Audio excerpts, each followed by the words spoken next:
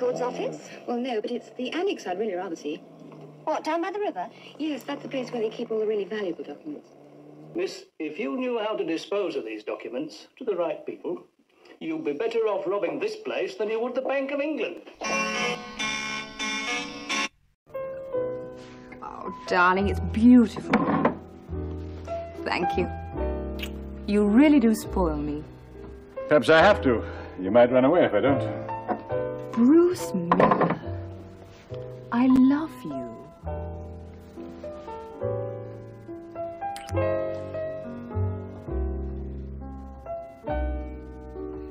Uh, yes? Yes. Well, I think the, uh, the contract should appeal to you, Mr. Miller, and uh, if we could get together sometime. Be at my office at 10 in the morning for discussions. Thank you for calling.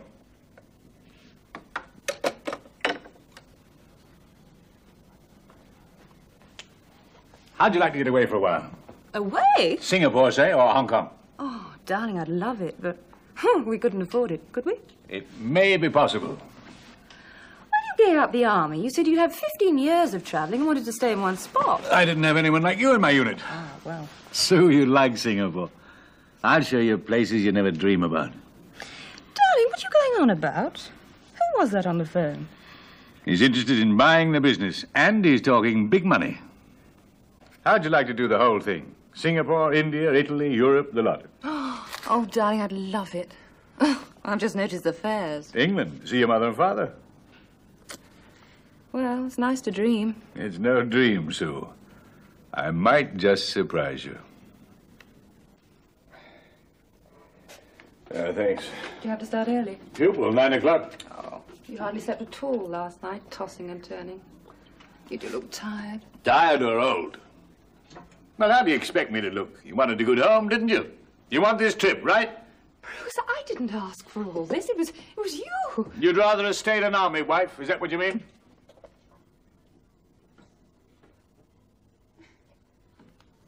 I married a soldier and I accepted that.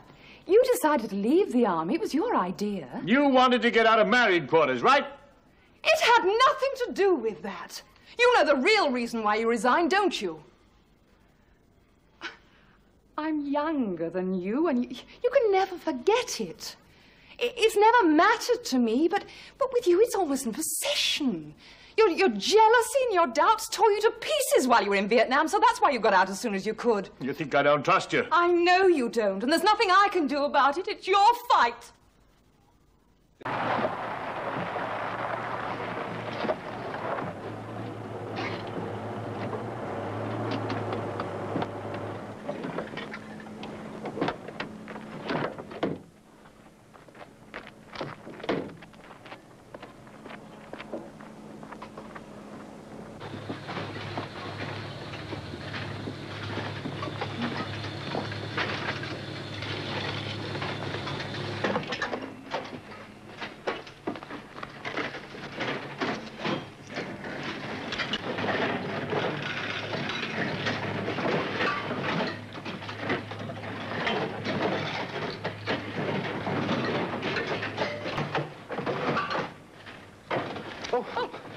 Do beg your pardon.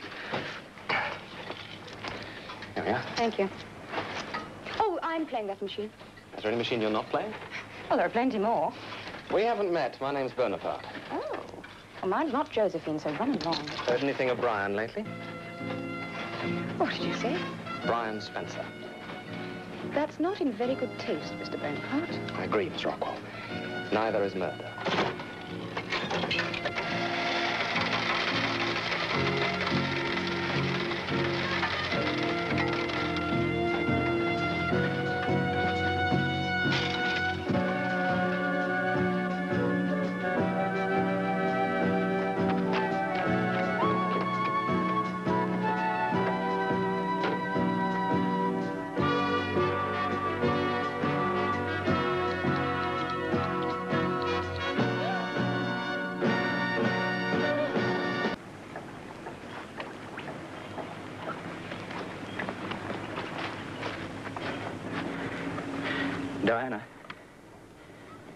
Thought I told you not to come here. I had to see you. This bloke Bonaparte's a cop. Tell me something I don't know. Well, doesn't it worry you? Why should it? He just seems to be taking a lot of interest in you and your father. I thought you ought to know. Now, look, Jack. I'm sure he's taking a lot of interest in you too, Jack. I've got nothing to hide. And you think we have? I don't know. Tell us what else he's interested in. Blade's boat. Jack, I know how you feel about Diana. I don't want to embarrass her, but I'm sure she feels the same about you. So I feel we can trust you. I'm sure you'd want to do everything you can for her. How do you mean? Well, the fact is, we've done a rather silly thing, uh, purely with the best of intentions. You might be able to help us out. Come into the house, Jack, and have a drink. Well, come on.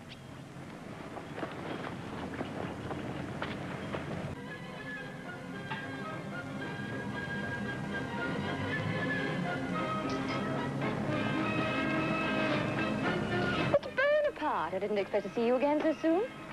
Would you, would you care for a drink? Not just now. Have you seen anything of Jack Wilton this afternoon, Miss Rockwell? Jack? No. I thought I saw him leaving, but obviously I was mistaken. You had any other visitors? No? You didn't by any chance hear a shot just now? Shot? Yes, like bang. Oh, I've had the record player on. I, I really didn't hear anything. Has something happened to Jack? Just what do you want from us, Mr. Bonaparte? Inspector. Inspector. Brian Spencer would do for a start. That's absurd. And stupid. Harboring a killer makes you both accomplices to murder. Brian wasn't a killer. That's a stupid thing to do. Father, keep his ammunition. I don't. In the desk.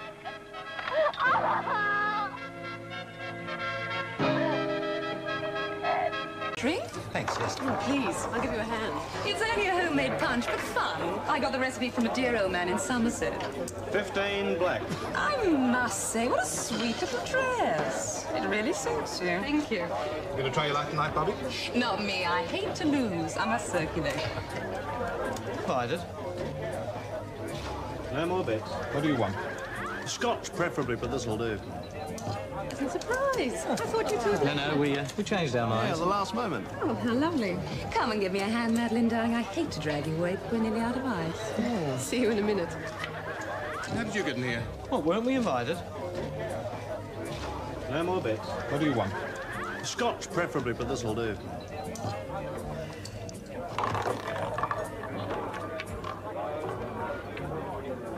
Nine red. Name and address, please. You know damn well. They love playing games. Not at this time of the night, we don't. Now, will you please answer the question? Roberta Hughes, and I live here too with my husband. I'd like to ask you a few questions. Thank you, Mrs. Hughes. I don't know why you bother us. Why aren't you out catching real criminals? We try to accommodate everybody, madam. This is very embarrassing, Sergeant. There were some very influential people here tonight. Yes, I know. They won't like it, not one bit. Mm. Name and address, please, sir. It's not as if we were doing Kenny any harm. Reynolds. I don't make the law, Mr. Hughes. Then it should be changed. All right, you've got a lot of influential friends. Get them to do something about it. Well, we all have to go to court? It Can be dealt with in your absence. Speak to the solicitor. Instead of wasting time here, why aren't you doing something about my wife's jewelry? I'm sure you can find your own way out, Sergeant. You found it in easily enough. Good night.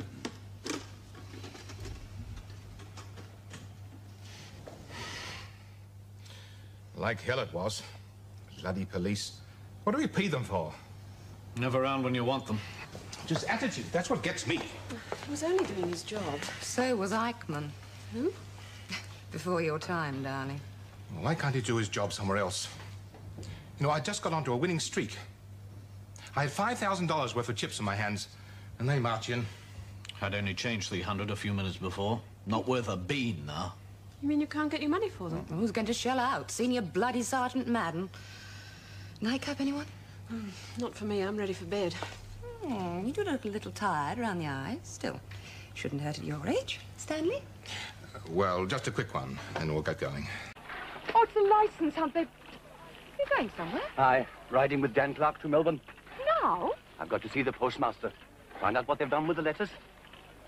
Well, perhaps they've lost my whereabouts. Don't know where I am. I mean, it's been five months now. Without letters from the family. There's got to be some explanation. They've arrested Brendan O'Hara. Oh, aye. He must have a license with a claim as rich as his. Aye. He says the trooper tore it up. Up to some tomfoolery, I expect. I don't call tearing up a license tomfoolery. I didn't mean the trooper, lass. I mean O'Hara. Baiting the traps is his favorite recreation. They respond in kind. He's got himself to blame. It's not like that. There's real trouble brewing, George. Well, it's the third license hunt this month, and the diggers have had enough. Aye. I've remonstrated with Mr. Fitzallen. Oh? Then I'm only a woman. Only? You should be spokesman. Spokesman, eh? For a buffoon the likes of O'Hara? Not now, lass. I've troubles of my own. And Dan Clark's waiting in his tent. Mrs. Lucas. Oh, please be seated, gentlemen. I attended your meeting last night. I was standing outside the tent, like many others. I couldn't get inside. Yeah, it was a good roll-up. I just wanted to congratulate you on the way you handled the crowd and on your decisions. Thank you, ma'am. Yes, I was pleased with the way things went myself. It shows the diggers want action. And I'm the man to give it them. I won't let them down.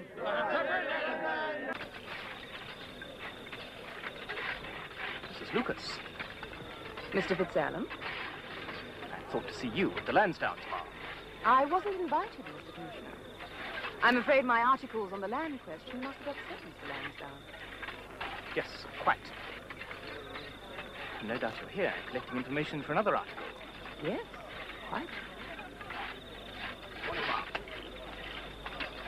You can't arrest them all. Well, there are many things I can't do. Sewing a patch is one of them. I wonder would you oblige if we're to maintain the dignity of the law? Most grateful to you. You concede defeat, then? Oh, yes, ma'am, yes. I'm no great hand at patches. I meant the diggers. The diggers had won. Did you have some part in this? Some? I trust you'll be as pleased when the commissioner calls in the 40th Regiment. He wouldn't dare. Depends how hard he's pressed. As you've already said, I can't arrest them all. He's bluffing. You've only to point out to him the consequences. I'm pointing them out to you. The uh, consequences of encouraging men to break the law. An unjust law. 30 shillings a month for a miner's license. There's uh, nothing unjust about that. Brendan O'Hara takes more from the ground than a day. There are many more starving for every man like him. Oh, but he is the agitator. Because he has a conscience. Something you wouldn't understand. Possibly. But I am fed, clothed, and remunerated by Her Majesty. Uh, in return, I undertake to protect her laws. Now, if I were to fail in that duty, I'd be defrauding her. Just like all of your friends, with consciences. Is that really where you stand? Yes. How pompous. You began the talk of consciences. Stick to patches, ma'am. You sew very prettily. Don't start something you can't finish, Sarah. Finish it yourself. Good evening and welcome to In Depth. Tonight we're going to devote the entire program to an investigation of violence. In particular, we'll be looking for the causes and hopefully even some of the possible Where's solutions Tony? to the violence. You on now? Where? Where to? The increased incidence Uh, of unmotivated coming bashing, culminating in No, last night's brutal murder no. of a young woman in Be nice Footscray, if somebody then special I weight served to his the problem at this time. Put it in. And I have with me here in the studio Get the black sauce, will you? two special guests. Mr. Eric Logan, lecturer in criminology from Melbourne University, and the man in charge of the investigation of the murder of Helen Dunlop, Detective Inspector Lawson of the Homicide Squad. Inspector, how likely is it that you'll find the people responsible? We think there was only one person. We'll get him. You sound pretty confident. We've got a good description, made up a photo fit. We've got every homicide car on the road. They're linked into the crime car network. Oh, yes, we'll get him. It's uh, just a matter of time. I certainly hope so. Mr. Logan, there seems to be little doubt that violence, particularly unmotivated violence, is on the increase. Why do you think this is? Oh, look, uh, there are literally dozens of factors at work. Now, there's no simple answer to that. Well, okay, maybe we can go into it in depth later on. Maybe we could also try and draw a profile of a basher, describe a typical background. But we have to start somewhere. Can you give us just one of the factors why these people lash out at anybody for no reason? Well, there's always a reason. It may not be a rational one. There may be no motive, but there's always a reason. I just wish you'd tell Well, me whether he's going to whole be home package, for tea. really. We are trying to keep it simple. Can we start off with just one? Fair enough. Well, the chances are that these kids, or at least a significant proportion of these kids who um, get involved in bad... I went to the cemetery yesterday. It might be better if you stayed away. Are you working? You'd meet people. Hey, let's stretch our legs. Come on, Charlie. It might be your last chance. I'm selling this to a development company. No. $10 million. A supermarket complex with parking for 2,000 cars. Rows of brick veneer houses. And a cinema with a crying room for those that remember trees, grass, and flowers. Don't take that money, Michael. You don't think I want to be a policeman all my life, do you? What is it? Last time, you said I should call you whenever I felt depressed. I tried again this morning. The footbridge over the railway. Oh, Michael, help me.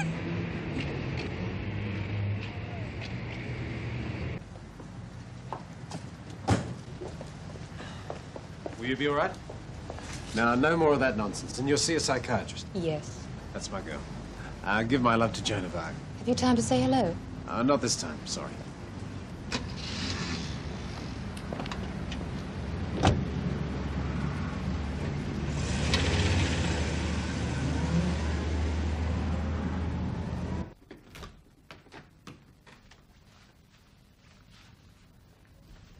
He makes your eyes sparkle, chérie? Who is he? Tell me about him. His name's Michael. Michael Peters. Michael. Hmm. It is a manly name. He is Catholic, huh? Has he a profession? He's a policeman.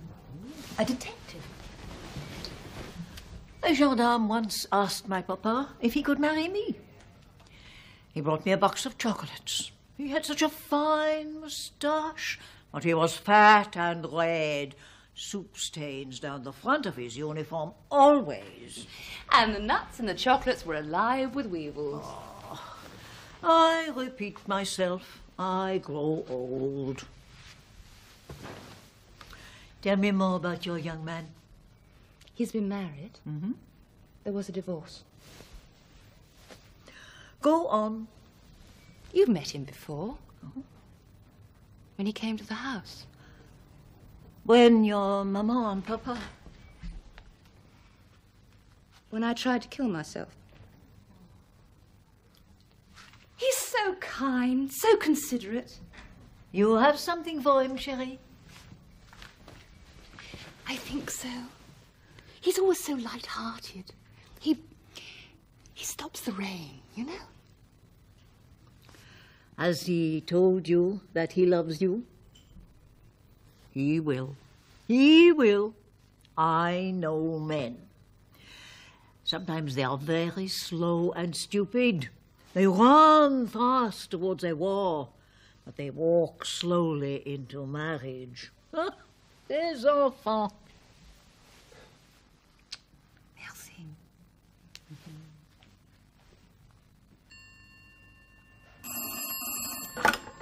Hello? Oh, I'm sorry, you have the wrong number. Who was it, Charlotte?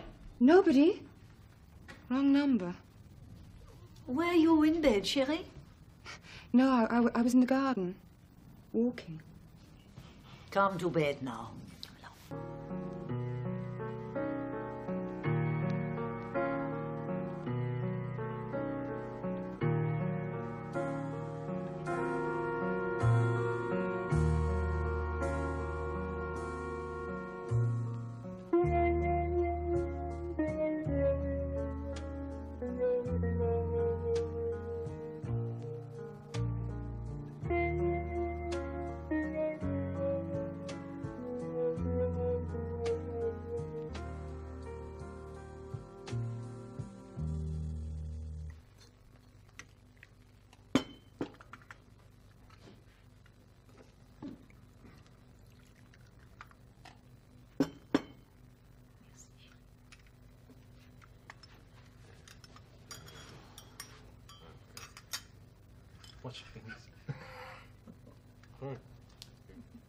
France. But I was glad to come home. Home? Australia. Oh, let's not forget Tasmania. Would you like to live in France now? Perhaps. I was a young child on holiday before. Maybe a bit different now I'm grown up. Viva la grown-ups. After my parents died, Aunt Bertha wanted to just go and live in France. She's got relatives there, and I think she's often very lonely. Perhaps I should have gone. What do you think, Michael? I don't know. But they're here, Michael. And I don't want to leave them. Stop it. Come on, Charlie. I'm sorry. I cried too much for no reason. I love you, Michael.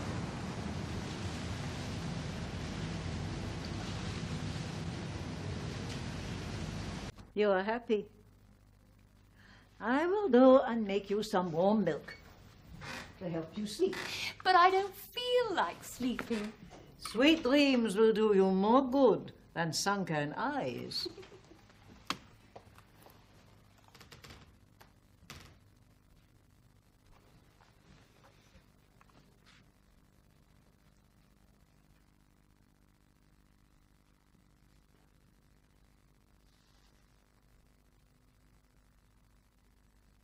Here, you know Mr. Peters. We're engaged. You don't say. Well, that is good news. All the best. Ah, great bloke, Mick. Uh, might be a copper, but he's got a heart of gold. Uh, that'll be two dollars even. Yeah, he was at the accident when me boy got knocked down.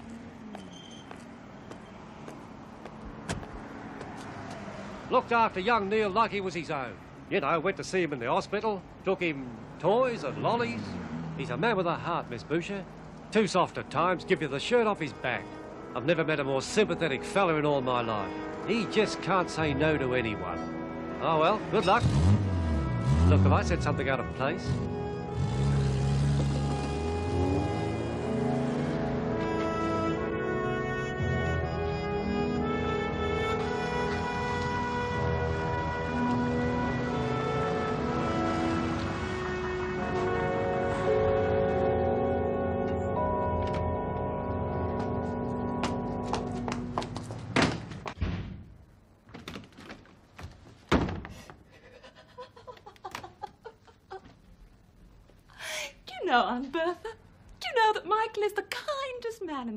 Wide world?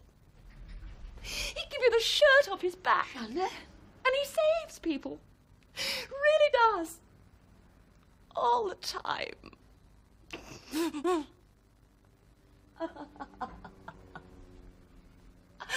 He's going to save me. Isn't that wonderful?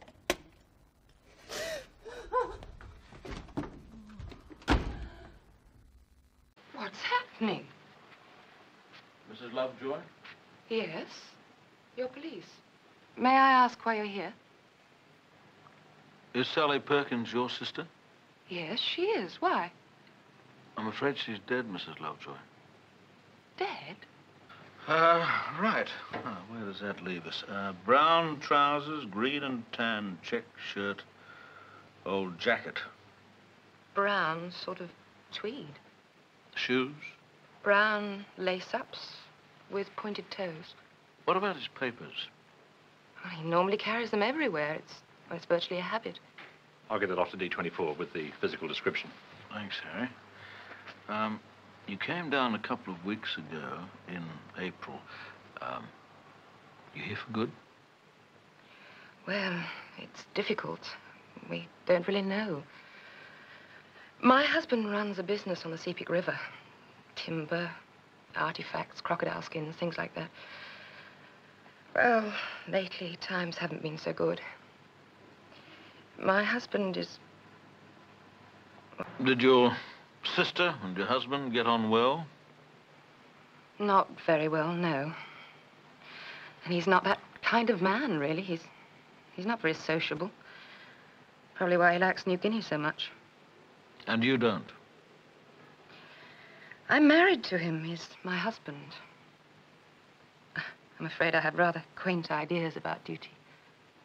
And you say he's ill? I said he wasn't very well. He has a lot of chest trouble, and the climate's no help. But he's certainly not sick enough to do anything terrible to my sister, if that's what you're thinking. Probably gone out to the shops or something.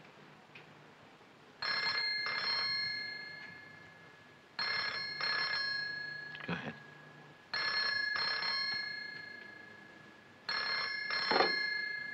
Hello? Who? Yes, that's right, darling. Listen, listen, where are you? What? Now, I can't hear you properly. Yes, yes, that's better. Darling, it's Sally. She's... What? Oh, my God. How much? No, of course I can't. Listen, yes, they're here with me now. Listen, where are you? Your husband? He says he did it. Says he murdered my sister. Because my family live here. My, my brother's a doctor, and my sister used to. I, I'm, I'm sorry. Senior Deegan will be back soon. He'll stay with you for a while. I'm afraid we'll have to ask you to identify your sister, but there's, there's no hurry. If anything else occurs to you, um, tell Senior Deegan. You think Gordon might come back, don't you? Must be strange. City life. After living in the Highlands. I wouldn't dispute that, thank you. Do you miss it at all? Have you ever lived in New Guinea? No.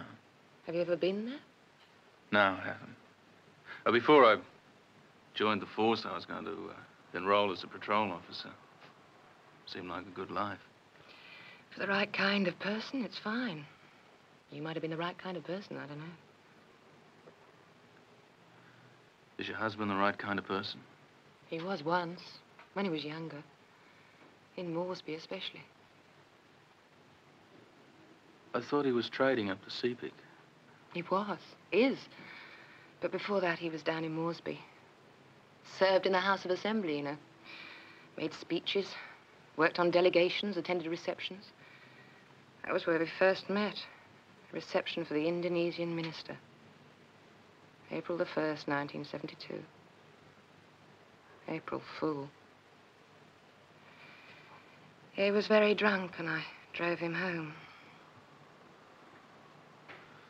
Then you went up to Sepik Yes. and hated it. You make very nice coffee for a policeman. It's practice. You must hold a lot of hands. No, not really.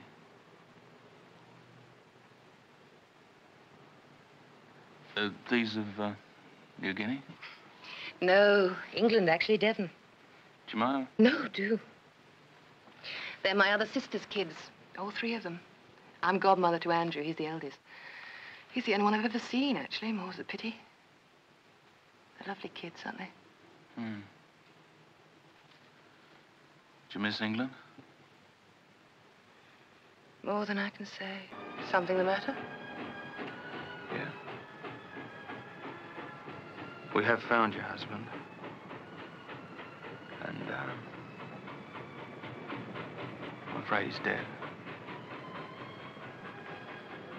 Where'd he get to? The airport. We found him in a lavatory. In a lavatory? Yeah. There was a razor involved. Was he shaving? No. It um, seems to have been suicide. He always said he'd do that. He's a very frightened man. Death appalled him. Old age, too. Tried to drown himself once in the Sepik River. With a large piece of concrete and a long rope. He was too drunk to tie the knot. Should have waited till the rains came. Done a good job. There'll have to be an identification, I'm sorry. Don't be. I'm getting quite an expert. Yes, I know. Would you mind coming now? My parents were dead against the marriage. He drank a lot even then. How could I tell them I was pregnant? So I followed him up there. The end of May by this time. The baby was only five months ago. Due in October. Well, anyway, he suddenly decided it was impossible. What was? The baby. He didn't want it. It didn't fit in. Didn't suit his local image. So what happened? He got rid of it. With a little help from his friends. After that, things just got worse. You got out. Ran away. Yes. Of course, it wasn't as simple as it sounds. Not up there. I had to plan it for months. Earn some local favors. Try and save a bit of money. But yes, then I, I got out. Of course, I, I never dreamt he'd come after me. Three weeks later, barely time for a bath and a change of clothes. Cried for days. We argued a lot. I even tried moving around, but it, it was hopeless. He always found me. So in the end, I, I killed him. If you can call it that. Pathetic, isn't it? He was so drunk most of the time, I, I don't really think it makes any difference. What on earth's going on? That's Dr. Sawley's car, isn't it? Well, wait here.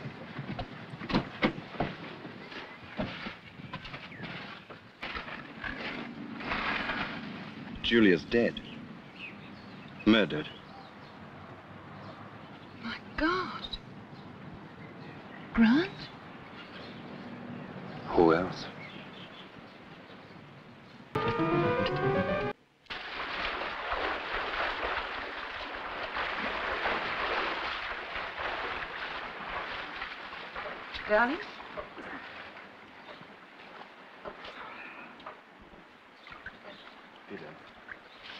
To do something about Grant Edwards.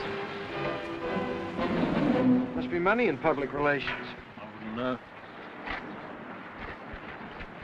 Inspector Lawson? That's right. Colin Anderson. Senior Detective Redford. Uh, would you come round to the pool? We can have a drink. I want to get this over with as soon as possible. So do my friends, Inspector.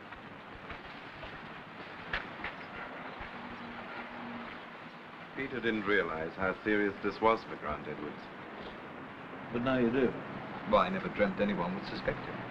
Now you do, and you want to help him. Well, I only want to tell you what we saw, Inspector. Why didn't Edwards mention this to us? I've said we saw him walking toward the cricket ground, but I don't think he saw us. You drove past him, but you didn't stop. Yes, We were on our way out for the day, water skiing, running late. Didn't blow the horn, wave. Grant's a very reserved sort of fellow. Mr. Williams and uh, you, Mrs. Williams, you'll be required to make a statement about this. We're prepared to do that. And if necessary, go to court and give evidence.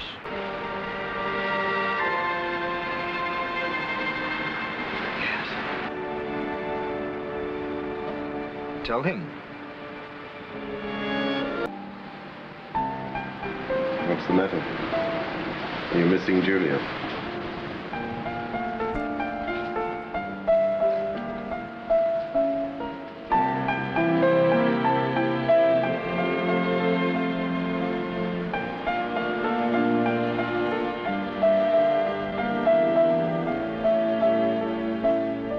Ronald Bell was convicted of the murder of Julia Edwards and is now serving a term of life imprisonment. Uh, thank you. Would you like some coffee? Uh, no, thanks. There's plenty in the pot and no shortage of cups in this house. No, thank you, Mr. Marshall. Are you forbidden to drink coffee on duty? No, Mrs. Marshall. Well, what about you then, Mr. Peters? Oh, no, thanks. Oh, That's that. I think the point is they're not supposed to fraternize with suspects. Oh. We've only just got up and haven't had breakfast, so you won't mind if we go ahead? No, of course. This is the new coffee. Tell me what you think of it. I'll stand by.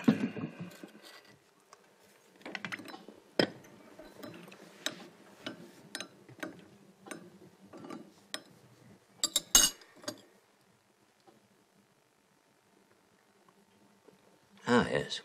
I like it. Strong, clean flavor, plenty of body. Good. Mm, nice. Well, then you'd like to know exactly what happened. If you wouldn't mind. Why did you go to the gardens that time of night, Mr. Marshall? Well, I was driving home and pulled Where up at the you been? gardens. At my office in the city, working. On a Saturday night? Yes. I had a huge backlog of work and nothing to stay home for. I was out at a committee meeting. Yes, about 11 o'clock. I pulled up at the gardens to answer a call of nature. And I noticed a young fellow in a tracksuit hanging around on the lawn. Near the street? Yes. Did you talk to him? Not at that point. I went off to the toilet. But when I came out, there he was. He'd obviously followed me. I was laughing at what he said to you. Oh. Well, tell them. Yes, the young gentleman said to me, You've got a beautiful car. A beautiful man driving a beautiful car. What more can I ask? I can imagine how you felt. Yes, it was my first head on collision with a pansy. Why did you hit him? I'm coming to that. His next remark was, How would you like to take me in your beautiful car? I said to him, Not tonight, Josephus, and walked past him, but he skipped along beside me. He said to me, What's wrong with tonight? What is it, dear? No ashtray. Oh. Yes, he said to me, What's wrong with tonight? It's a lovely night for love. You two are a very unresponsive audience. What happened then, Mr. Marshall? Well, at least they're interested, Lloyd. Yes. So I said to him, Shove off, you little bastard, and pushed him away. But he flew back at me and kicked me in the shins. It hurt, so I flattened him. How does that stack up with what he told you? He alleges that you accosted him. Oh, that's amazing. Yes. He said that you punched him because he called you a rotten pervert. There's no doubt about them, is there? Uh, who do you mean, Mr. Marshall? Homosexuals. Or do you have expert knowledge of? No, I told you. Then what do you not- mean? There's no doubt about them. I was referring to the little jerk's talent for twisting the facts. That's typical from what I've heard. Mr. Peters, we have been married for 12 years, and I can assure you my husband is not homosexual. The position is, Mrs. Marshall, that a young lad has made a complaint and we have to make a thorough investigation. I see. Well, thank you for your help, Mr. Marshall. We'll be in touch. I'll see you out. Thank you. Goodbye, Mrs. Marshall. Goodbye, Sergeant.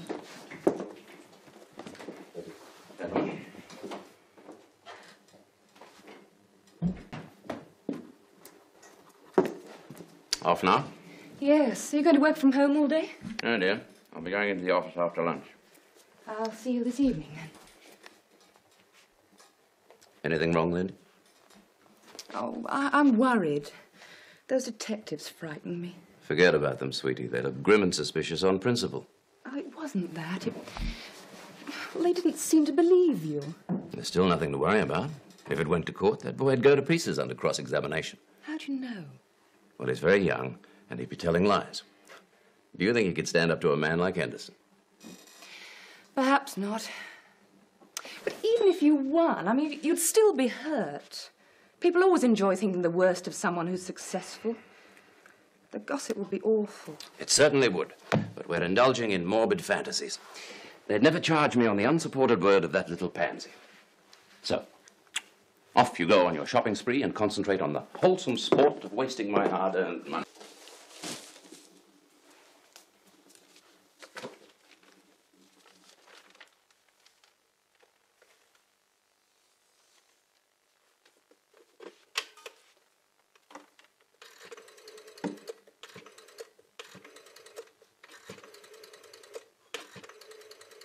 Jane, it's Lindy Marshall. Oh, uh, how are you, Lindy? Well, I'm very worried, Jane. You know about Lloyd, I suppose. I know something about it, yes. Can you possibly find out what the police are doing, the detectives?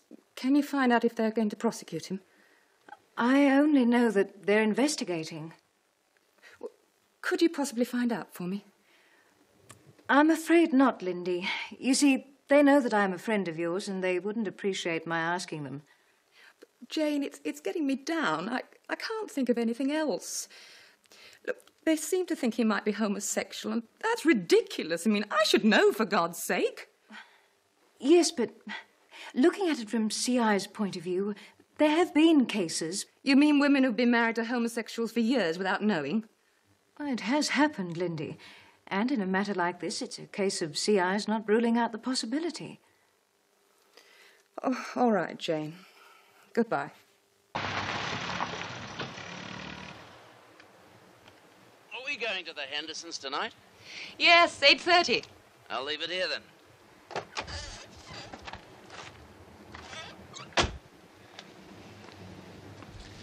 You look lovely. Have a nice time in the city? Not really. Have you heard from the police? I'm glad you asked me that. Yes, I've heard from the police. Matter of fact, I've been interviewed again. What happened? The good news outweighs the bad. Come on, tell me. They are now satisfied that the boy accosted me. And now for the moderately bad news. They're going to proceed against me by summons. What for? I'm to be charged with common assault. I know how you feel. Common assault. Sounds so damn plebeian. How can they do it? You were provoked. I mean, he kicked you. Yes, that's true. But that wasn't so serious. They argue that I hit him much too hard. And they're quite right. I'm bigger than he is. I could have just pushed him over and walked away. But he was such an obnoxious little runt. Oh, it's going to be dreadful, the court case. Not as bad as you might expect. You see, there's some more good news. I'm going to plead guilty. Well, that means that the boy won't have to appear, won't have to give evidence. It'll all be over in a few minutes. At the worst, I'll be fined a few dollars. I see. Let's go in for a drink.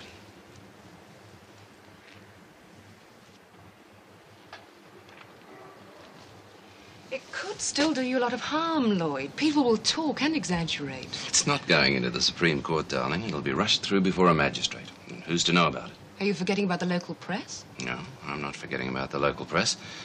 I'll be increasing my advertising. There'll be no write up.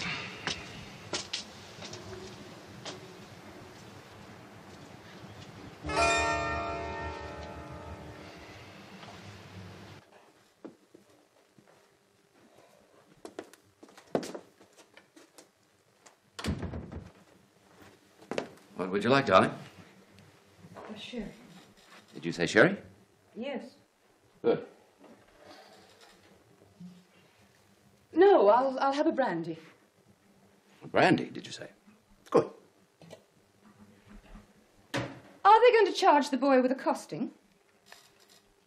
Are they? No, I don't think so. Why not? Well, I brought that point up as a matter of fact. But they said Master Thornton was so young, they thought the correct thing to do was to tell his mother and hope that she could cope with it. But that doesn't make sense, Lloyd. Well, darling, she's, he's very Have young. you told me the truth? Lindy.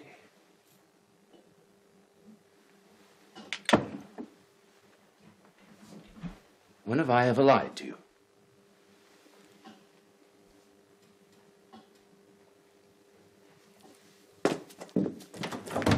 Derek?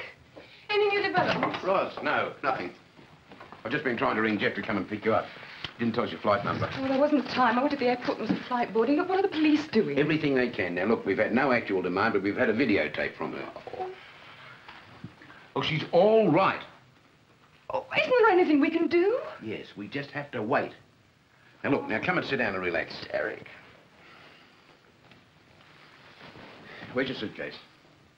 Oh, my God, I've lost it somewhere. Well, look, never mind, never mind. It's not important. We can find clothes for you. I haven't been able to think since you called. Roz, please.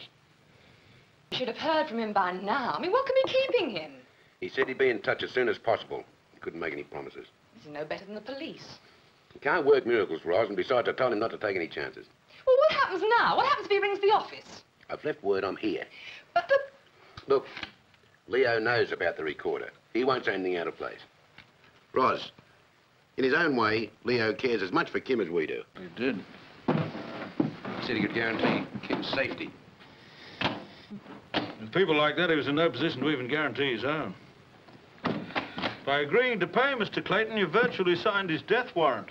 It was my fault, Inspector. I asked Derek to do it. If, if anyone's to be... I made the decision. I had to do something. She's been gone for days. You've been able to do nothing.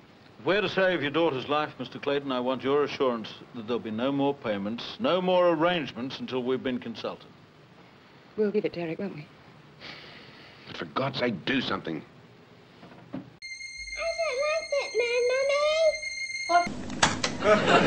Your current record is shallow, noisy, and vulgar. And I talk to talent, potential talent. I always work in stages. Stage one is to knock the absolute stuffing out of them. Can't wait for stage two. You see, the reason I'm so successful is that I manage, in the strictest sense of the word. You know the definition of manage. Well, uh, The definition I prefer is to subject a person or animal to one's control. You've got me all confused. I came in here feeling like Elton John. Now I feel like Elton Pomeroy. Who's Elton Pomeroy? Exactly. If you signed with me, you'd work your tail off. I'd take over your entire life, a whole new image for starters. A new image? I haven't even got an old one yet. Forget the razzle-dazzle tea bopper stuff, because I think you could crack that generation gap. Under my control, of course. Yeah. Yeah. Yeah, what? I'm thinking of markets for the teens. Well, you've got a nice, ordinary look about you. sort of like a aging paper boy. This time I'm not going to ask. For the older bracket, well, you look relatively clean and trustworthy. That has a certain novelty value. Yeah, I'd said it was a sort of family thing. Something bright and wholesome that appeals to all age groups. Sound like the son of Bambi. But you need grooming, packaging, promoting. For one year, I want to control your life. What you sing, what you wear, who you see, where you go, what you read, everything. That sounds awful. In one year's time, Bobby Farrell, superstar. Well, that sounds terrific. Will you do it? I'll do it. Good. First of all, no smoking. No. Secondly, no swearing. Family image, remember? Oh, I've agreed to a year of this, and the first minute's killing me. Now, if I'm going to promote you, then I need to know everything. Tell me about your family. Well, Mum died when I was a kid. Bobby Farrell's childhood agony. No, it wasn't like that. Next, what about your father? Well, Dad was a vaudeville comedian. Was? Is he dead too? Wonderful. Bobby Farrell, tragic orphan of pop. Oh, no, no, Dad's still alive. Oh, pity. One good angle screwed. Never mind. What else about your father? Nothing else. Uh, well, did he slave night and day, trying to be mother and father both? no way. Well, there must be some way we can use I it. haven't seen him for years. He left home. He used to gamble a lot, and he was always in debt, out of work, and drunk. It was no surprise when he wasn't chosen Father of the Year. Well, why did he leave? He said he had a booking interstate at some club to do his act for a week. That was seven years ago. Seven years. Yeah, and he promised to be back in time for my birthday. Maybe you meant my 38th. Okay, let's forget about your father. Who? See, I can even joke about it. Doesn't worry me at all. Oh, it worried me for a time, but well, what was there to miss? I mean, when we did live together, all he would do was drink, gamble, and tell corny jokes. And then there was his bad side as well. In terms of your new image, he sounds about as helpful as a paternity suit. Oh, don't worry, he's long ago and far away. Let's keep it that way. And talking of paternity suits, I want you to promise me no steady girlfriends, no heavy dates. Oh, I'm starting to feel the strain. Already I've given up smoking, swearing, girlfriends, and fathers. I forgot to mention drinking and late nights. Is it all right if I see my Uncle Oz every now and again? Just socially, of course. Oz? Yeah, it's short for Ozma. He's coming to visit me tonight. Your father's brother? Yeah. Uh, But let's put it this way. My father is rated R, but Uncle Oz is definitely for general exhibition. Okay. No way. No way. I've got my career to think of. Something to nibble, Hilda? Thank you, no. I'm saving my appetite for my Lord Mayor. Uh, pardon? We're lunching together. Oh, oh, how exciting. He's graciously consented to let me write one of my little at-home pieces about him. Hmm, I've just been reading this week's. You uh, do them so beautifully, Hilda. Oh, don't be silly. Do I? Yes, those lovely double-page spreads. Do you know, Della, that Family Week has the highest circulation of any magazine in Australia? I had no idea. Absolutely. Oh, how wonderful. All those readers. And my little column, At Home With, whoever it might be, is the most widely read feature in the entire magazine. And so it should be. And you know why? I can't imagine. I mean, why would I? Because it is an oasis in the desert. Ah, I like that. In a desert of ugliness, promiscuity, and vice. you make an awful lot of sense, awful lot. Uh, now, Hilda, Oh, my Lord Mayor will be waiting for me at the town hall. We're having a cosy little luncheon, just the two of us in the banquet room. Hilda, just before you go, I'd like your advice. You see, I've discovered this young singer, a very talented boy called Bob uh, Robert Farrell. Robert Farrell? I've never heard of him. Well, it's not surprising. At this rate, I doubt you ever will. At what rate? Well, the media people seem to think he's dull, just because he doesn't smoke, drink, sleep around, use four-letter words. Does that make a person dull, Hilda? But he's exactly the sort of young man who deserves publicity. It's no use. They just don't want to know him. Well, I want to know him. Now, this is one of my hobby horses. We have got to make virtue popular, fashionable. There's this conspiracy of silence. It's really so unfair. Well, they can't silence me. I'll interview him at once. Where is he? Uh, but you've got my Lord Mayor, your Lord Mayor. Who? Oh, yes. Well, I'll do your young man tomorrow. And that's a promise. Say, how's Miss Farquhar? Heavily sedated. Well, uh, suppose I better find myself another manager. Nothing would give me greater pleasure. But there is a problem. What? The latest top 40 chart released today, your record has shot up to number one. Damn it. So, for the time being, it looks as though we're stuck with one another. But you get rid of that... that father. Oh, sure, he'll only be staying for another night. Good. Or two. Well, how about a cup of tea? No, thank you. I'm uh, told you ought to teach me Serbo-Croatian. Yes. Very nice. I hope we'll be friends. We shall get to know each other, Major, probably very well. We shan't be friends. You spoke to Major Barrington? I think I have the wrong person. He said to contact a Captain Fulton. Sit where you are. I'm Captain Fulton. How was Major Barrington when you last saw him? Dead. When? A month ago. Near Jajce. If he gave you a message, it must mean you were with him when he died. Why has it taken you so long? I'm a medical officer with a partisan mobile force. The commissar would not release me. I'm AWL. I may as well tell you that Major Barrington and I worked very closely together. Now give me the message. I'm to contact you. You're to arrange that I meet a Colonel Smythe in London. I am to tell him Operation Overlord and give him four names. What names? I'm to report in person. Oh, out of the question. What are the names? He stressed it. He said, tell no one here. We're penetrated. I'd suggest you tell me a little more about yourself. I'm not sure yet how much I can believe of what you say.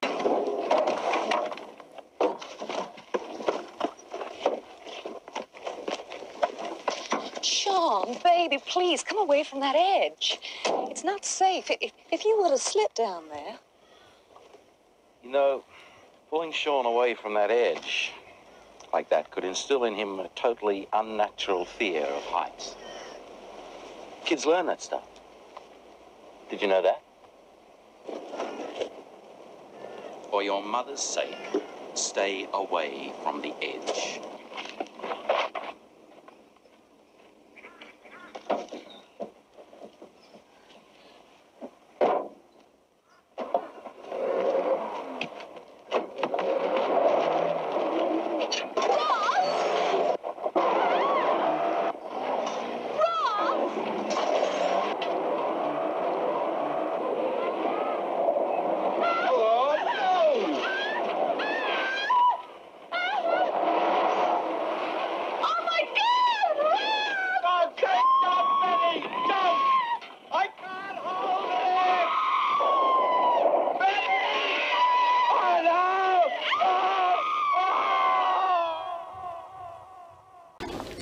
Your name is Catherine Elaine Peterson? Yes.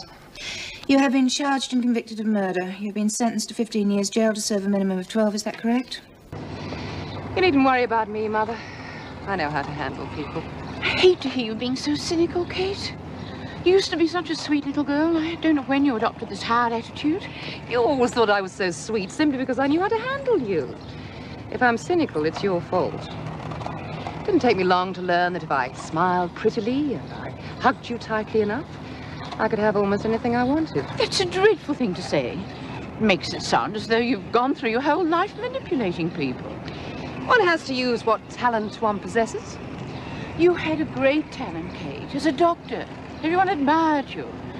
I'll never understand how you got involved defrauding the government. Because it was very lucrative. How many reasons do you want? I still can't believe you actually killed a man. I had to. He was going to report me. Poor Conrad. If only he could have seen things my way. He loved you, Kate. Not enough. He was a fool. Like the women in here are fools.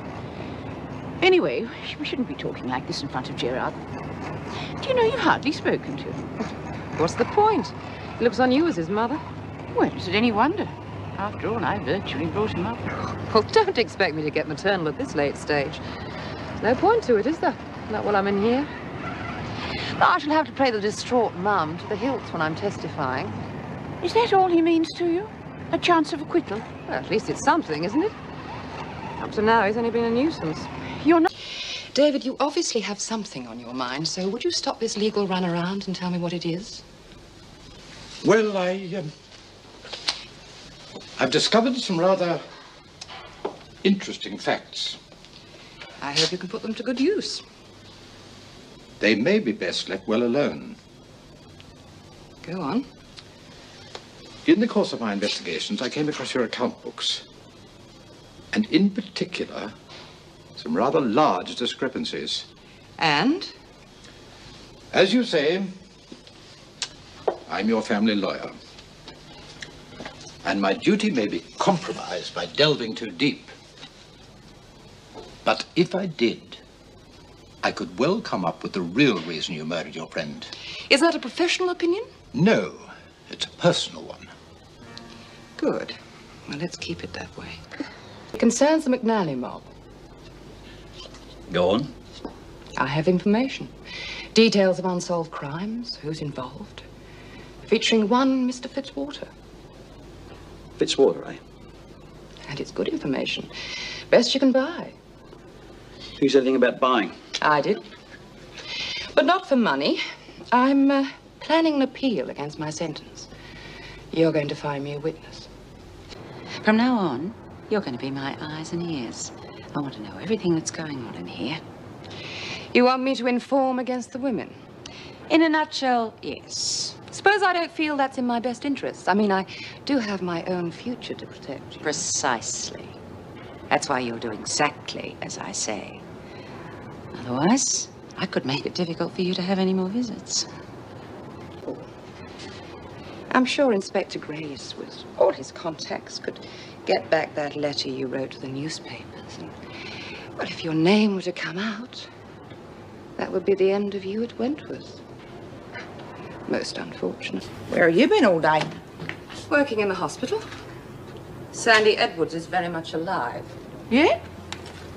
Oh, well, you can't win 'em all. Didn't tell her I had anything to do with last night, did you? Of course not. Why should I? Just acting strangely towards me. So was Bea. Don't think they suspect anything, do you? Look, I don't know. Just forget about it. It'll pass. I thought you had a foolproof scheme for getting rid of Sandy. What went wrong? It was a bloody good plan until that little bitch Doreen stuck her nose in. What? Yeah, she arrived just as we're hauling Edwards up. Didn't you have a look out on the door? Yeah, Lil, but she had to come and help me and Bev, didn't she? Oh, I don't believe it. How could you be so stupid? What did you say? Why to ignore such a simple, important detail as keeping guard? Well, I didn't see you in on any of the heavy action. Oh, I did my part. I got the dope, I got into the showers. Oh, big deal, real brave stuff. Look, I stuck my neck out for you, you stupid idiot. Just what you're, you're calling names. Don't you realise what you've done? Look, I'd be careful if I was you. All Sandy and Bea have to do is put two and two together if they haven't already done so, and I'm gone. Oh, God, I should have known better to trust you and your thick friends. You're going to be sorry you said that. Take your hands off me. You don't scare me, you brainless bag of wind. Just who do you think you're calling names, bitch? Leave me alone. I haven't got time for useless cretins like you. where are you? Oh, well, well, what have we here? Nothing, Mrs. Powell, just a bit of a difference, you know. I don't know. But if there's any more of it, you'll be up in the charge. I was just on my way to dispensary, Mrs. Powell. Then get going. Here we are. That should make you feel better. Looks like you could do with it yourself. Oh? Hmm. That's a bad case of the shakes you've got there. What? The shakes. Well, as I said before, Sister Franklin isn't the easiest person to get along with. Hmm.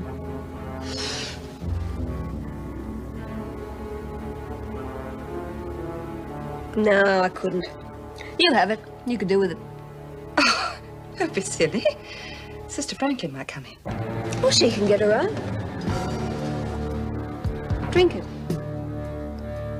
But it's for headaches, not nerves. Drink it. Oh, no.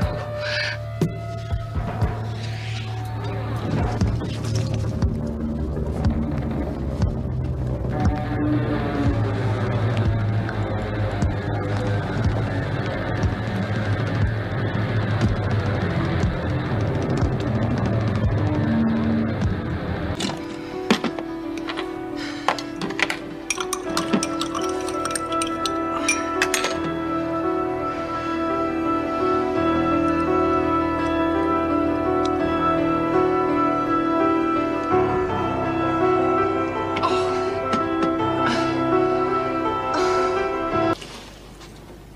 going on?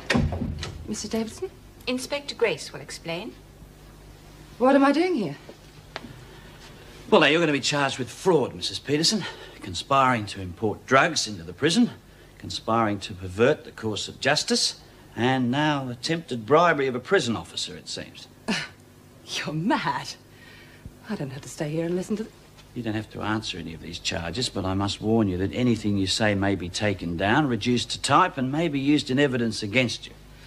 Well, you'll have to get your evidence from somewhere else, won't you? Because you haven't got any. You can't prove any of these charges. What's he writing down? Well, that's Detective Sergeant Ross. He's just doing his job. Detective. What are you trying to do to me? You've all had a hand in this, haven't you? The attempted bribery of an officer. Sounds cheap and dirty, doesn't it? Insulting. But I seem to remember you were eager enough at the time. What happened, pal? Get cold feet. Come on, Mrs. Peterson. You've been supplying us with enough evidence yourself, don't you think? I mean, there's your attempt to rig a crooked witness and your uh, secret accounts, and now bribery of a prison officer. You're going to be in here for a long time. Oh, no. You used me. You used my information. You can't keep me in here. You pig, you used Okay, me! come on. Peterson, come on. Nobody uses me! Well, just to show I'm not resentful, I won't add assault of a police officer to the charges. Peterson, you will be placed in solitary confinement. I'll go with you. I'll kill you. Join the queue, lady. There's a waiting list. You can't keep me in here forever. I'll kill you, all of you. You're all liars and cheats and filthy. You ready for our little chat then?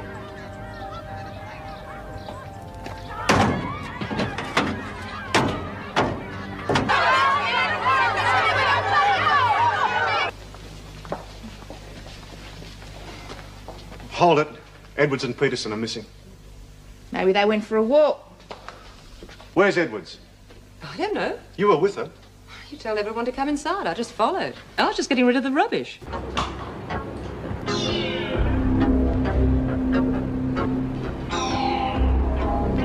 I've seen that knife before. Edwards got it off me. And there's only one way you could have got it off her. You killed her. How'd you do it, Peterson? You're no match for Edwards. She could take on two of you without even drawing breath. What are you talking about? Getting rid of Edwards, that's what. I didn't kill Sandy. She was alive when I last saw her. Oh, she just gave you the knife as a going away present, did she? 147 counts of health fund fraud. conspiring to commit perjury, conspiring to import drugs into prison. The list goes on and on. And you were prepared to send me into the appeals court with a bogus witness. I know the charges. And don't you preach at me. It's your job to get me off. Impossible. Minimize the sentence then. Look, for God's sake, you're my solicitor. Earn the money I'm paying you. Money gained by fraudulent means, Mrs. Peterson. I'm sorry I couldn't do that. I'm taking myself off the case. I suggest you apply for legal aid. Oh, don't be ridiculous. I can afford the best. There isn't an established firm of solicitors in town who'll risk taking your case and not getting... I heard about your visitor, Peterson. Do you want to finish dinner at the second sitting? What? No, no, thank you. Will You go into the rec room then. Miss, Mrs. Morris. Yes? I'd like you to arrange legal aid for me. Legal aid? But you've already got a solicitor. No, no, I, I sacked him. Was a bungling fool. He didn't suit me at all. You all right? Besides, I've just been informed that my financial standing isn't at all that it should be, and well, it seems I have no choice. It really is rather urgent, Mrs. Morris. Would you mind? Well, I'll do what I can, but I'm Thank not you. sure. I'd appreciate that. I congratulate the jury on bringing in the only verdict possible. Filthy common scum. You have been found guilty on all charges, Peterson. Don't and you I- Peterson me, you pompous idiot. You will address me as Dr. Peterson. Be quiet. I am a respected member of this community. I demand to be treated as such. If you don't stop, And I'll hold you. You, you have a nerve to call yourself a barrister. It's a sad day for society when you qualified. Order. How Order. dare you cities cretins? How dare you, you cretins? Order! You enjoyed a privileged position in the community, and you abused it, thereby lowering the standard of all your colleagues. I consider you to be a totally unprincipled character who will do anything and hurt anyone who stands in the way of your petty greed. Therefore, an example must be made of you. Catherine Elaine Peterson, I sentence you to 10 years imprisonment with a minimum of six years to be served concurrently with your present sentence. The girls are going to give you a trial you'll be crazy about. Now, uh, you weren't very happy with your defense counsel. Well, they are hard to come by. But we've got you the best. Judy. Meet your new client, Dr. Catherine Peterson. We couldn't find anyone to be uh, prosecuting counsel, so uh, I volunteered. Should be a pushover. God, you women are childish. I'm not interested in playing your stupid games. Oh, you will be, Kate. You don't even know what the game is yet. You haven't even met the judge. Rita. Meet Justice Sandy Edwards. Unfortunately, Sandy couldn't be here in person. But then you'd know all about that, wouldn't you? Go on. You haven't told me what this farce is all about yet. Oh, yes, I have. We're going to give you a fair trial on all the charges the cops missed. Now, the girls here are going to be the jury. They know what it's like to be in prison. They'll be very sympathetic. What about Winter? Oh, yeah. I'd forgotten about her. You see, there are a few laws that we haven't caught up with yet. Now, if you're innocent, oh, you'll be as free as a bird. But we haven't abolished the death penalty. So if you're found guilty, you're dead. And that's where Marie comes in. She's our public executioner. Marie, meet your next customer, Dr. Catherine Peterson. You killed Sandy, didn't you? Didn't you? No! You're a damn liar. Listen, if you want to get out of here, you tell Mrs. Davidson. Then she'll put you somewhere safe. But if you're not going to do that, you're on your own. Quite frankly, I think you're overdoing it. Overdoing it? They are trying to kill me. What do you expect me to do? Mention it casually over morning tea? For God's sake, don't be so stupid. Now, that is enough, Peterson. As I said to you before, I've been here far too long to fall for an act like this. Ah, yes, and a very good one, too. Now, Mrs. Powell and Mr. Faulkner are officers of the highest caliber. Do you honestly expect me to believe this persecution story? And as for Mrs. Davidson being involved, well, as I said before,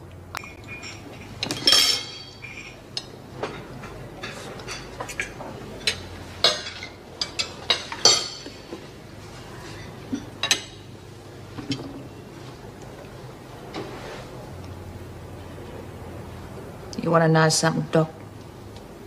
You're dead.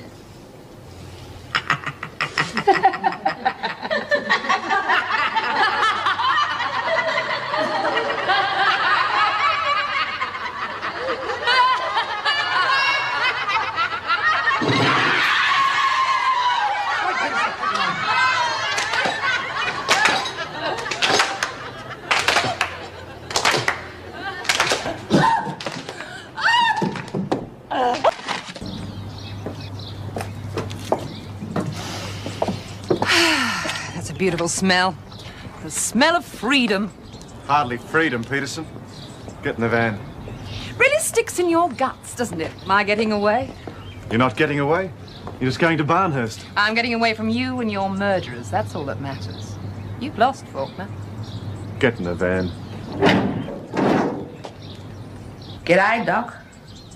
Looks like we're going to be making this trip together. No!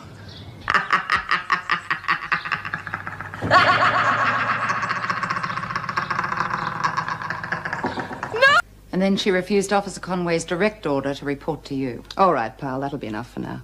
I will not tolerate insubordination, Peterson. Of course not. I quite understand that. It Must be very difficult for you trying to run this place and having to put up with types like Powell. That's enough. Will you be quiet? You really must learn not to interrupt. Of course, I understand your problems, Mrs. Davidson. It's uh, never easy dealing with subordinates. Although, of course, I do realize that these menials are necessary for running a place of this type. Menials? Silence! You know, I was thinking while I was having my rest this afternoon, you could do with some help to keep the women in line. Not to mention the people who are helping you. So I've decided to help you. As a matter of fact, I find the idea of a joint venture rather challenging. I don't know what you're playing at, Peterson, but it won't work. Now, I've heard enough of your nonsense, and I demand an apology to Mrs. Powell. An apology? You are in enough trouble already. Don't make things worse for yourself. Oh, I see. You have to say these things. You feel you can't accept my offer of help in front of the staff. I think you should, you know. People get quite uncomfortable if they sense that things are being kept from them. Yes? What is it?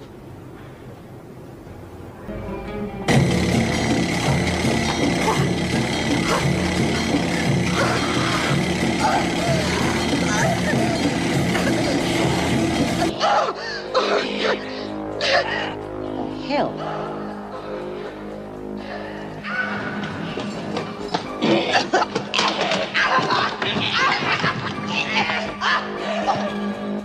Crush you just like an ant.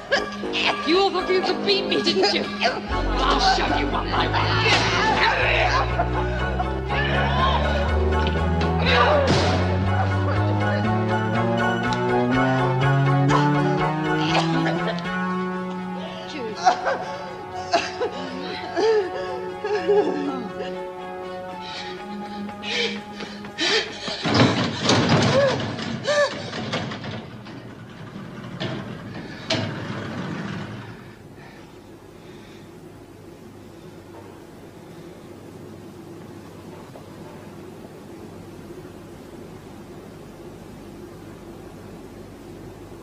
You to come with us, please. Oh, really, Mr. Faulkner? I'm, I'm busy. Can't it wait? No, just come with us now. We don't want any trouble, do we? No, of course not. Where are we going? To Solitary. Oh, is someone sick there?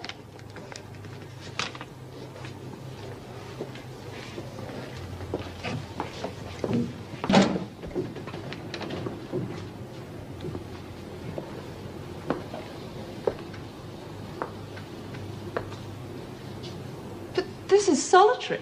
That's right. I don't understand. Am I being punished for something? Peterson, do you remember your fight with Bryant? Fight? Yes, you attacked her. You almost strangled her. Oh, but surely I'm not being punished for that. Oh, you don't understand. There are evil forces at work in this place, and, and Bryant's part of it. Oh, she was going to destroy me. When I had to defend myself, didn't I? Well, didn't I? Whatever you say.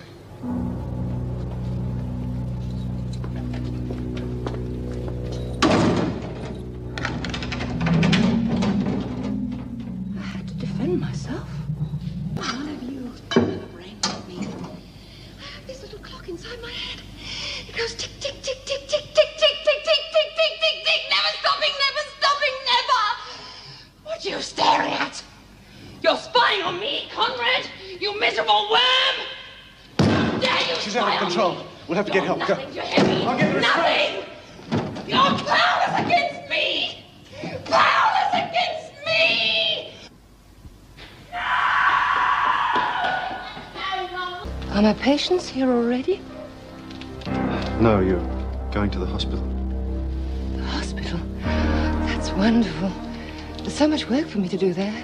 They need me, don't they? I knew they would. Yes, of course they do. Come on, Peterson. Dr. Peterson. Leaving so soon, Doc? Yes. My work here's finished. I have to get back to the hospital. Sure you do. They've got a new office for you there, too.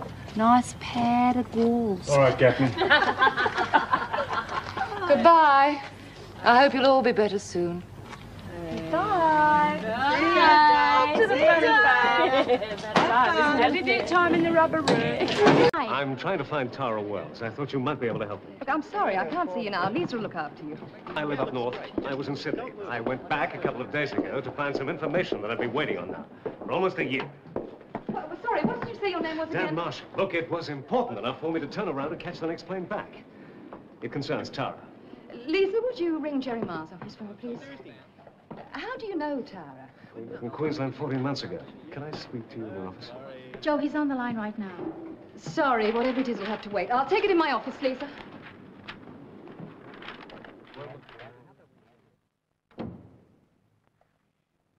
Now, look. It can't wait. Shall I call Jason? It's all right, Lisa.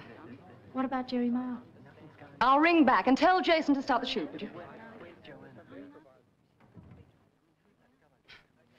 I'm sorry, it's been a very difficult morning. In fact, absolutely chaotic. Would you like to take a seat?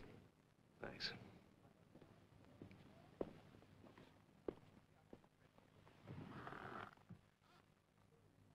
Miss Randall, I know Tara trusts you.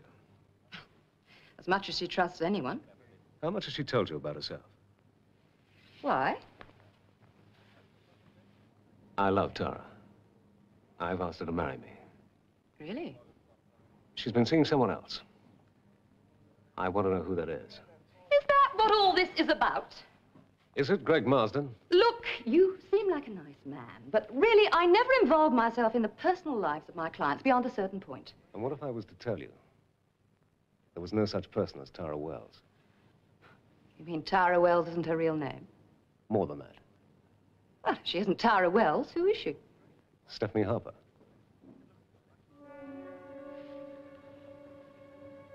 Stephanie Harper didn't die in that hunting accident. She was badly mauled about, but alive. She made her way to a clinic in North Queensland, where for a period of six months she underwent a series of operations that completely changed her appearance. She then moved back to Sydney, calling herself Tara Wells.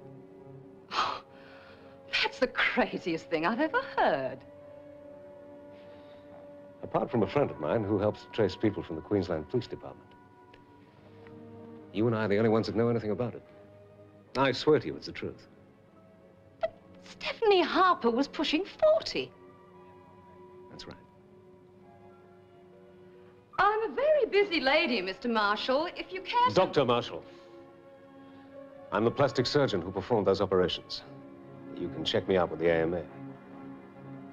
I help create Tara Wells. I've never betrayed a patient's confidence. But then I've never been in love with a patient before. I also believe she's in considerable danger. So please, who is he? Greg Marsden.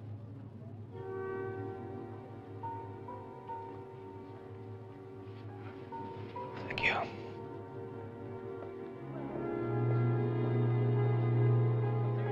Please, not a word to anyone. Thanks, Joanna.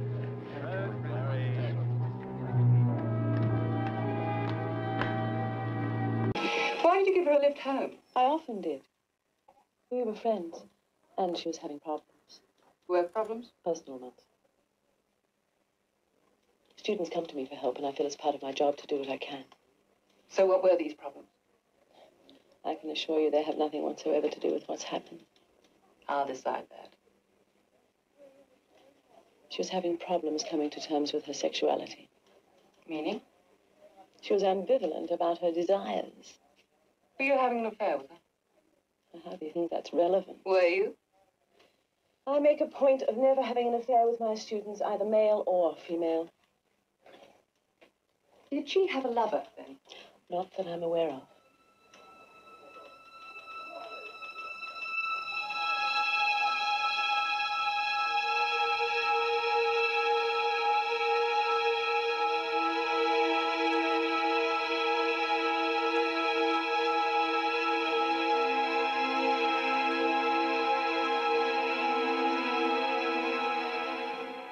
Rehearsal had gone well.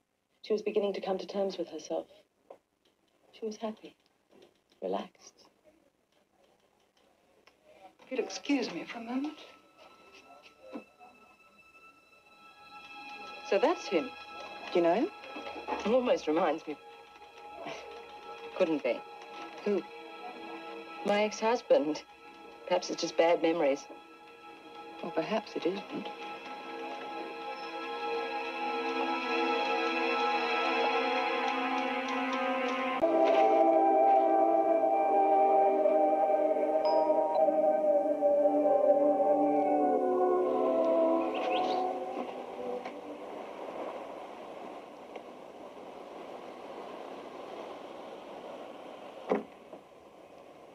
Detective Sergeant Turner. Get out of the way down here. Almost drove right past. It suits me. I find it cuts down on the number of unnecessary visitors. Doesn't the silence get to you? No, I like the sound of the sea. Better than the noises some people make. Give me the hustle and bustle of the city any day. One person's nectar is another person's poison. Drink. I had a few drinks on the plane, did we?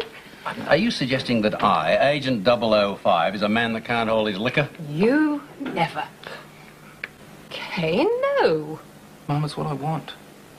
It's what we're going to do.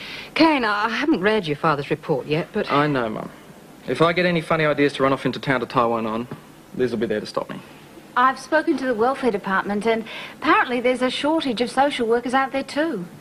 But Liz, this is Kane's problem. You'll be throwing away your career here. I've always wanted to work in the outback, but I was always too chicken to go on my own. With Kane there, well, But you haven't known each other very long. We know that, Mum. And that's something we're not going to rush into. But we're going to give it time and see what happens. Andrew? Well, I seem to have got it all worked out. Kane? Mum, I know we can make it work. I'm sure we can. Well, all right, I I don't want you to go, but, well, I won't stand in your way. Thank you. Ryan, Andrew has his family. Uh, Andrew can do most of his work by telephone. We'd have to fly out there occasionally, but there's usually a spare seat on the plane if anyone wants to tag along. Now I know why we voted you our managing director. Mrs. Burton. Sergeant Croydon, could we have a chat, please? Yeah, of course. Come on through. Thank you. One of you bring a cup of coffee for Mrs. Burton, please. Meaning me, I suppose. Use a clean cups, Mags. Copies of JP and a counsellor. So what? I can't charge her without proof. This is all the proof you need, I'm surely. afraid not. We'd have to catch her in the act, if you'll pardon the expression. Then I'll just have to ask my husband to raise it at council. With all due respect, Mrs. Burton, it is a police matter. Of course, I could always have a word to Ted Faulkner. He's an old friend of my father's, after all. Inspector Faulkner would tell you the same thing. The police aren't going to do anything. I said I can't lay charges without proof, which I am working on obtaining. Uh, failing that, we could always have a friendly chat with her, let her know she's not welcome. I should hope you'd do more than that, Sergeant. After all, Mount Thomas is still a good, clean town. Can't allow this sort of thing to develop. Carla. Your uh, special massages. Uh, look, Carla, it's kind of desperate, if you know You what I will mean. so I was hoping you might be able to yes, squeeze yes, me in. Mrs. Burton, just leave it with me. Okay. He's uh, told you that it's all my fault, I suppose. No. He will. Perhaps he's right. I had my committees, my charities. Clive had his job, his justice of the peace duties. both of which were obtained through my contacts, my influence. He was a nothing, you know. A nobody when I married him. He owes me everything. How dare he? A, a prostitute. Whole idea is absolutely repulsive.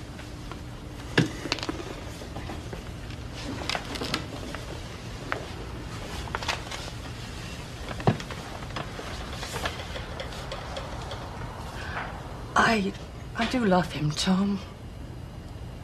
I'm not a demonstrative woman, and certain things are. But for me, it was it was always love. I knew he didn't feel the same, but I thought, after 25 years. Anyway, I've uh, spoken to the solicitors about a divorce. Really, there's no other way. I mean, I. I do have a certain reputation to uphold. Madge, I thought I'd find you stuck out here, slaving over a hot stove as usual. Lovely to see you. Hillary. You work so hard, such long hours, and you're always so cheerful. I don't know how you keep it up at your age. Get you something? And always so generous. Perhaps, perhaps another time. I'm here on a matter of business. Oh, we have already sent you to the hospital front. Oh, I'm sure you have. I, I get so many donations, I really can't keep track. No, it's um, it's about your speech. Speech? The speech you're making tomorrow.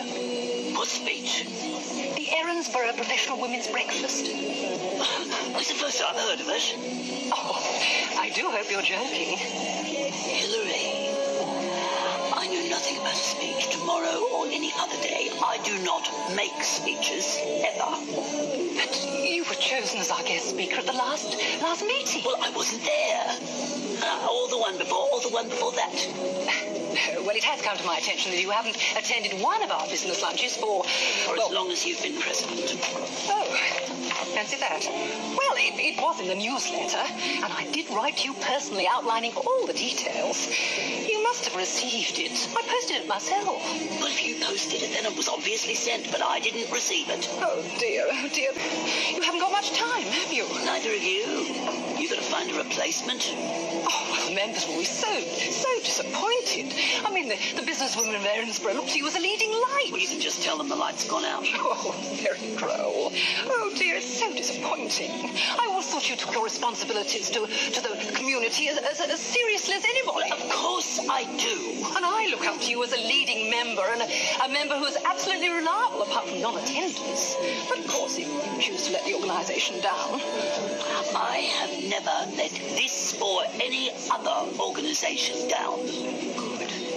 Then you'll be there. Thank you so much. I can't tell you how much we're looking forward to hearing your little speech. Good morning, Madge. Oh, I've never been here before. Quite a quaint little house. We find it adequate for our needs. Yes, I'm, I'm sure it must be.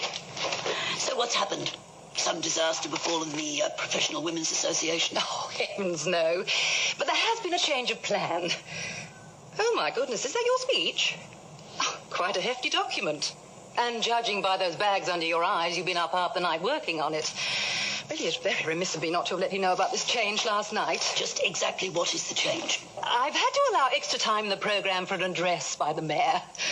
So you now only have five minutes. Five minutes? Well, I'm sure that's more than enough time for an overview of your life in the coffee shop, isn't it? Well, I wouldn't want to bore the members. Five minutes, then. Just edit out all the boring bits. I'm sure you'll end up with a much better speech.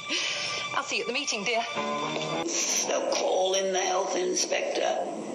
But nothing like that at all. Nobody said a word. In fact, one of the boys actually said to me that they were the best pies he'd ever tasted. And from that moment, we knew we were going to make it.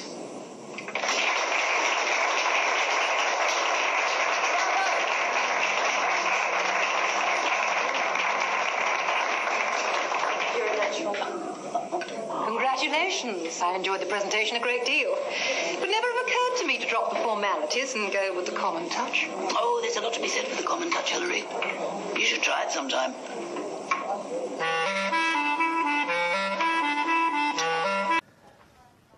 That's all right, son. Uh, I'll handle this. I'm still station commander. I saw the flowers outside. Your colleague, she must have been much loved. You must be Dr. McCarthy. Alan.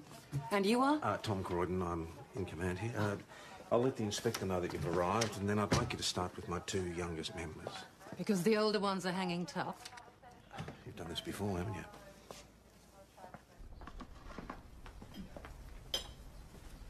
Could I introduce uh, Dr. Ellen McCarthy to you from the psych unit? She's here to do some counselling. Constable Jo Parrish, Jo? Jack Lawson. Jack. Uh, this is Chris Riley. She's the owner of this establishment. Hello. Hello. Any chance of the use of the room? Yeah, of course. Sure. Do we have a choice here, boss? None at all. My great granddad, he was in First World War. He's a mad old bucket. He always used to say, just cop it sweet, son. Just cop it sweet. Does that work for you? Does that work for me?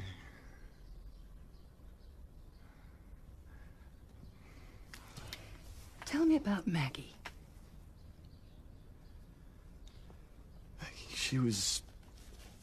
Ah, like a big sister.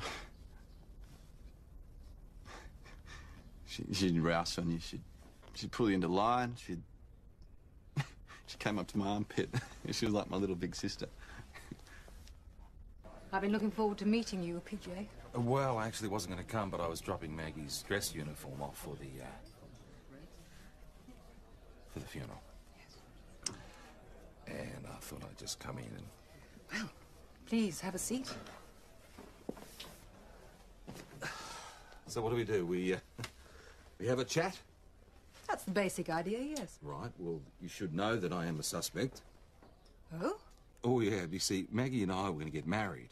And that instantly puts me in the frame because statistically, we always look to the partner, so. You see, Maggie and I were going to go away together. And I've since found out that, that well, she was going to go without me. And that upset you. Oh, yeah, bloody oath it did. See, I don't, I don't let go of things that matter to me that easily. I, I really get stuck in.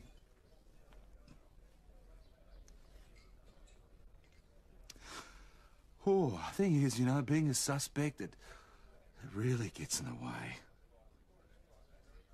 Someone dies, someone you love dies, you just want to let it go. You don't really want people uh, watching you or taking evidence against you. Sometimes I am.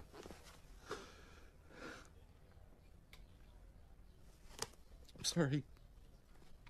Uh, sometimes I actually wish that I'd gone with.